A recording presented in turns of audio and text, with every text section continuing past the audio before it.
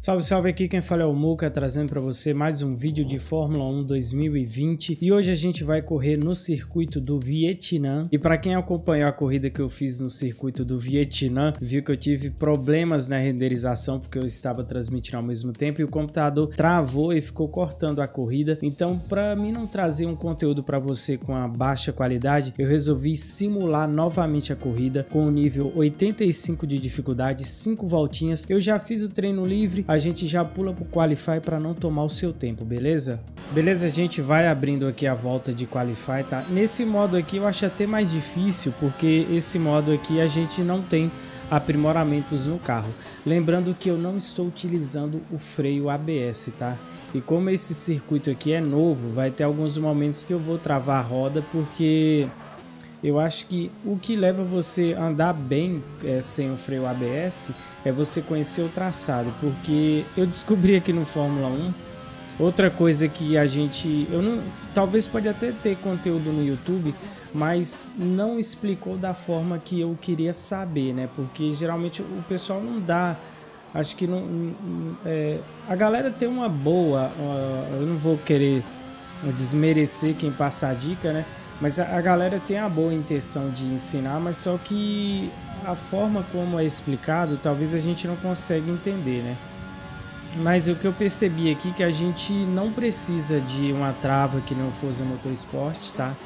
Você não precisa de uma, uma trava no seu gatilho para andar sem o freio ABS no Fórmula 1. Uma coisa que eu percebi aqui é o tempo que você segura o freio, porque você pode apertar tudo, tá? Se você observar ali, você vai ver é, no gráfico que eu aperto totalmente o freio, que é a luzinha vermelha, e a roda não trava. Mas existe um limite para você segurar aquilo ali, tá? Às vezes você pode até segurar de leve, mas mesmo assim, se você segurar de leve por muito tempo, você consegue travar a roda. Então, quando a gente se liga nesses, nesses detalhezinhos, já dá para a gente identificar e começar a acostumar. Então, o tempo que você segura vai ser, é, vai depender do quão você conhece o circuito, tá? Nível 85 consegui pegar um oitavo lugar nesse circuito aqui que a gente sabe que é muito difícil, tá? Como você tá vendo aqui, eu consegui ficar na frente do meu rival, que é o Sainz, ele ficou em décimo, eu fiquei em oitavo. Tá bem justo, tá? A diferença de tempo não foi tão grande assim para mim ter que aumentar, né, o nível de dificuldade, então tá legal pelo nível de volta, tá? Eu não tô em primeiro lugar, eu tô com a McLaren, então tá ótimo oitavo. Vamos lá, só 5 voltinhas, nível 85 como você viu de dificuldade. Estou sem freio ABS agora, tá?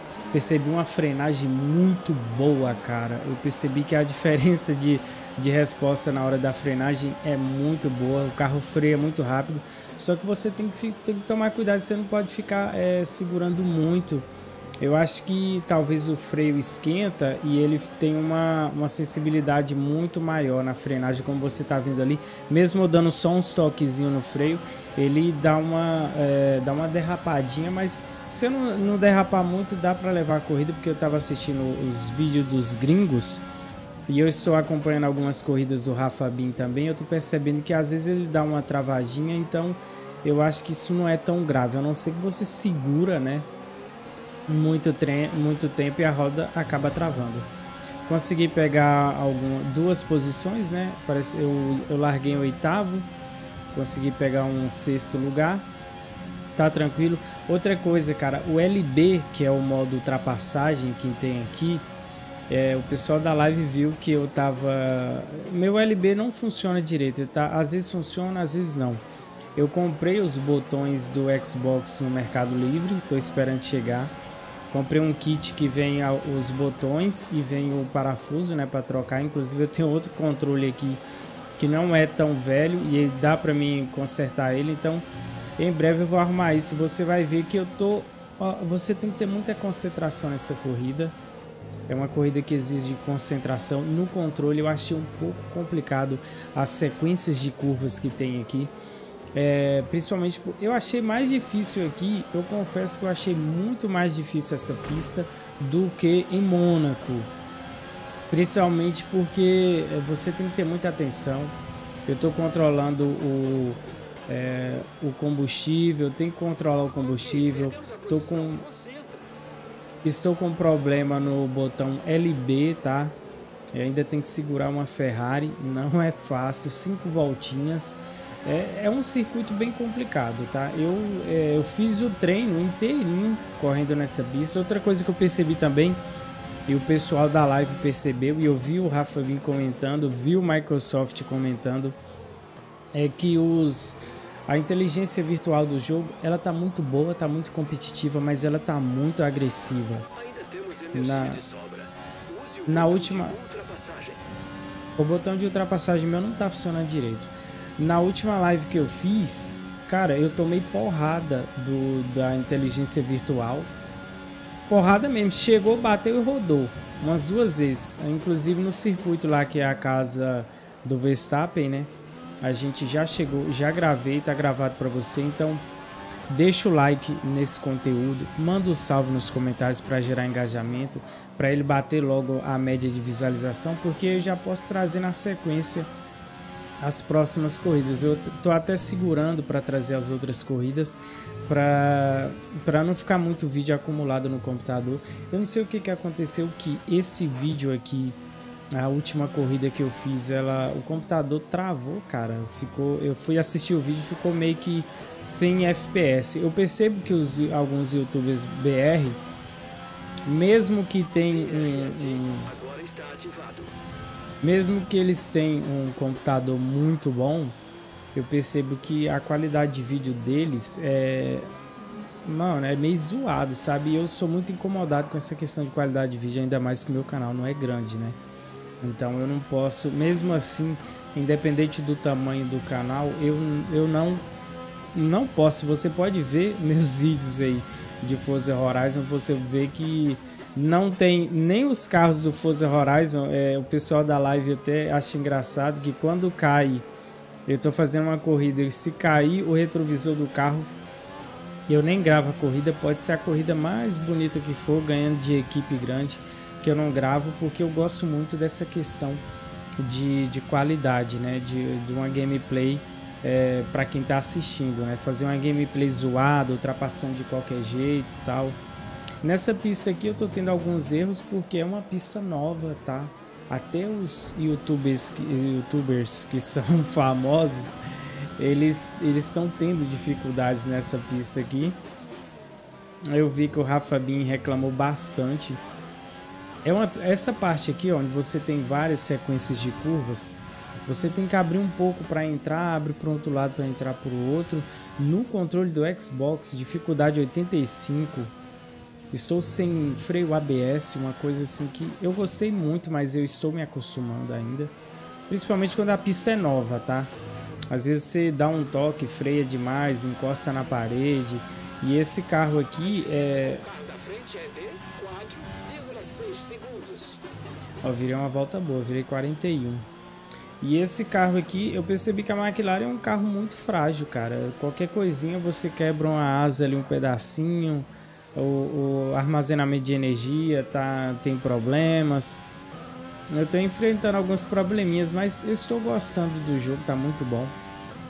Eu acho que é, no decorrer da, das melhorias no carro, eu vou querer aumentar mais essa dificuldade.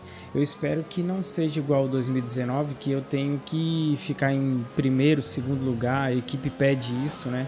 Conforme você vai melhorando o carro. Eu gosto mais daquela coisa real, de ficar brigando por posições. O Pérez está lá atrás, o Pérez não quer me atacar nessa corrida. Acho que o meu maior rival na, na Fórmula 1 2020 é o Pérez, tá? Mas fora isso, tá, tá tranquilidade. Tô gostando demais do jogo, tá? Recomendo ainda. Não tenho dúvidas nenhuma que qualquer jogador consiga jogar muito bem esse jogo no controle, tá? Tá muito bom. Só as pistas novas, que nem essa pista aqui, eu recomendo você treinar muito, tá? Pelo menos, cara, umas 40 voltas, tá?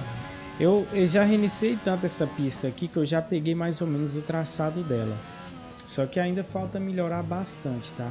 Eu percebi que, mano, no controle, jogar sem, sem controle de tração no controle do Xbox tá praticamente, cara, muito difícil. Eu, tô procurando uma configuração para eu conseguir jogar sem o controle de tração mesmo. Última volta. mas está muito complicado. Eu tô achando que o feedback do controle do 2020 não tá igual ao 2019 e muito menos o 2018. Parece que você só dá um, um toquezinho. Eu desliguei o controle de tração, desliga depois. Eu só dei um toquezinho no, no acelerador. Cara, o giro sobe na hora. Parece que parece que não tem profundidade, sabe? Depois eu vou dar uma mexidinha nas configurações para ver se, se tem algum problema. Agora o freio tem profundidade. Eu dou um toquezinho no freio, percebo assim, mas o acelerador, eu não sei, cara, tá meio estranho. É, tá piscando ali a, o combustível, então eu já deixo no padrão. Eu morro de medo de, de dar pane seca na corrida, principalmente na última volta. É, parece que o resultado da corrida vai ser bom. Sexto lugar para a McLaren tá ótimo e justo, tá? Não é uma coisa não é uma coisa absurda, perdi um pouco o controle do carro. Circuito muito difícil, de novo recomendo você treinar. Cara, eu posso até trazer um vídeo só focado depois na questão do freio, tá? Mas eu não tô vendo dificuldade nenhuma. O único problema do freio é se você for aquele tipo de jogador que aperta o freio e segura por muito tempo, que é uma coisa que tem muito no Forza, os caras apertam demais o freio e segura, cara, é um problema. Mas aqui no Fórmula 1, cara, é um treinamento para você jogar qualquer outro jogo quando você joga sem o freio ABS aqui. É um treinamento, cara. É muito bom, recomendo bastante, tá? Final da corrida, um resultado muito bom, bem justo. Como você tá vendo aí, eu peguei um sexto lugar, tá ótimo pelo nível de dificuldade, tá? Não tá é, um nível fácil e nem um nível muito difícil, tá bem equilibrado, baseado nos tempos de voltas e o que tá rolando hoje na vida real, se a gente observar o desempenho da McLaren. Foi bem justo, tá? Espero que tenham gostado, deixa o like, manda um salve, se não é inscrito, se inscreva e até o próximo vídeo.